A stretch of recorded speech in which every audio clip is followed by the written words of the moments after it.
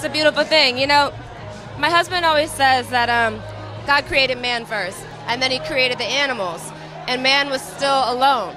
So then he created woman. So woman was created complete unto herself.